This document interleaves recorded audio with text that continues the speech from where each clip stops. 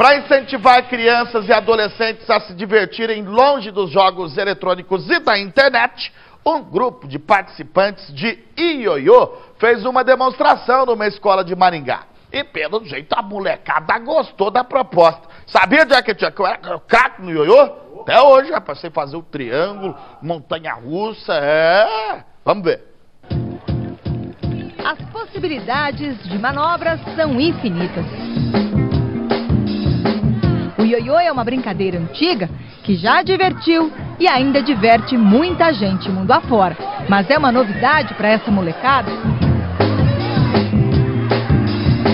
O primeiro contato costuma ser, digamos, embaraçoso. Olha a dificuldade do Gabriel. Porque tem que é difícil de manusear. Mas nas mãos de especialistas, a coisa muda.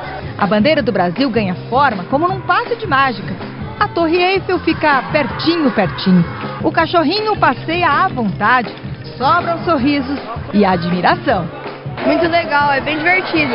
O grupo leva essa interação para as escolas de todo o Brasil.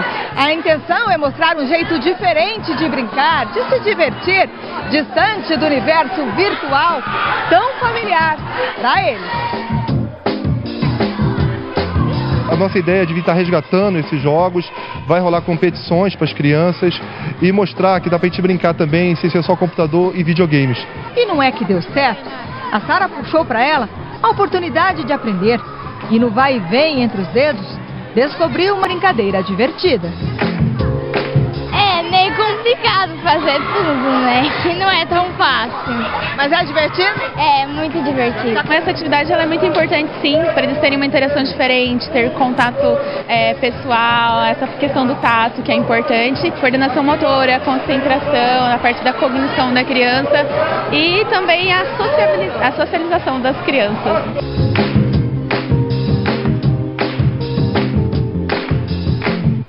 Aí uma iniciativa muito bacana dessa escola, Colégio Marista, né, aqui de Maringá.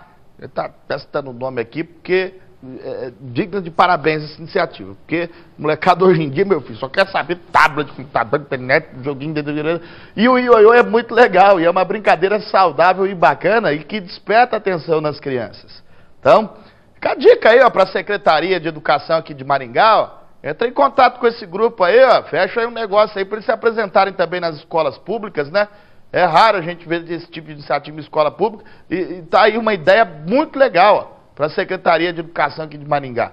Né? Lógico que esse pessoal aí, eles vão em várias cidades, tem uma despesa tudo, então tem que haver a contratação. Mas é, é, é uma, uma ideia legal apresentar o ioiô para a criançada. Arr